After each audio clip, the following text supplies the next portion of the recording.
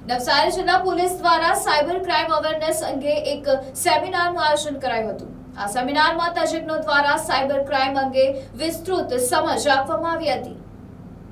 આજના ઝડપી ટેકનોલોજીના યુગમાં વિશ્વ આંગળીના ટેરવે આવી ગયું છે. મોબાઈલ દ્વારા ઇન્ટરનેટ થકી ક્રાંતિ સર્જાય છે તો બીજી તરફ મોબાઈલ ટેકનોલોજીના માધ્યમથી કરાતા ગુનાઓની સંખ્યામાં ચિંતાજનક વધારો થયો છે.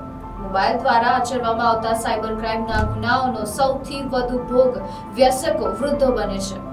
વધતા છતાં આ ક્રાઇમ રેટમાં ઘટાડો લાવી શકાય તે માટે નવસારી જિલ્લા પોલીસ દ્વારા ખાસ વ્યસકો વૃદ્ધોમાં સાયબર ક્રાઇમ અંગે સેમિનારનું આયોજન મતિયા પાટીદાર વાડી ખાતે કરવામાં આવ્યું હતું.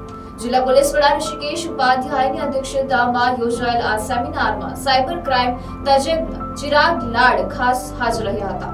તેમણે સેમિનારમાં ઉપસ્થિત વડીલોને કઈ રીતે ફિશિંગ અને ફ્રોડ મોબાઈલ ટેકનોલોજીના માધ્યમથી આચરવામાં આવે છે તે અંગે વિસ્તૃત માહિતી સાથે સમજ આપી હતી. આ સેમિનારમાં નવસારી જિલ્લા પોલીસના અધિકારીઓ, કર્મચારીઓ સહિત સિનિયર સિટીઝન મોટી સંખ્યામાં ઉપસ્થિત રહ્યા હતા.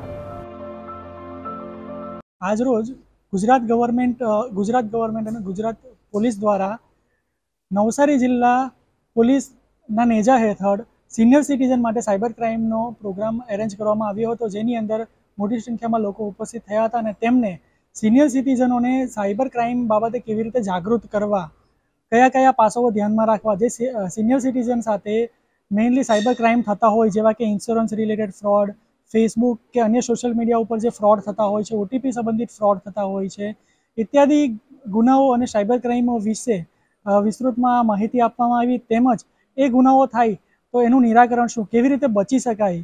અને આવશ્યક કયાઓ સ્ટેપ લેવાના એ વિશે માહિતી આપવામાં આવી. ગુજરાત પોલીસ દ્વારા તારીખ અગિયાર એપ્રિલથી બાવીસ એપ્રિલ સુધી તમામ જે પોલીસ સ્ટેશનમાં સી ટીમના જે સભ્યો છે, એ આ દસ દિવસના જે આ સમયગાળા, આજે અમારું જે મિટિંગ હતું, એમાં એ લોકોને માર્ગદર્શન આપવામાં આવેલું છે.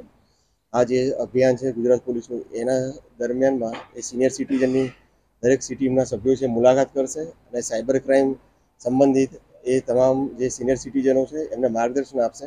કારણ કે સાયબર ક્રાઇમ હાલ એટલું પ્રવર્તી રહેલ છે અને સિનિયર સિટીઝન છે એ સૌથી સોફ્ટ ટાર્ગેટ છે, આ સાયબર ક્રાઇમના જે ભોગ બનનાર વ્યક્તિઓમાં. એટલે અવેરનેસ લાવવા માટે અને પોલીસની એક સામાજિક જવાબદારીના ભાગરૂપે આ એક અભિયાન શરૂ કરવામાં આવેલ છે ને જેમાં તમામ સી ટીમના સભ્યો છે એમને જરૂરી માર્ગદર્શન આપવામાં આવેલ છે.